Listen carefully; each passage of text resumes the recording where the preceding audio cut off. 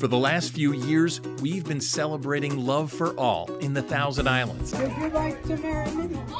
Incredible speakers, performers, family spaces, and even dancing on a boat in the St. Lawrence River.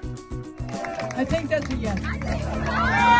Join us for Thousand Islands River Pride, June 22nd through June 25th. More info at thousandislandsriverpride.com.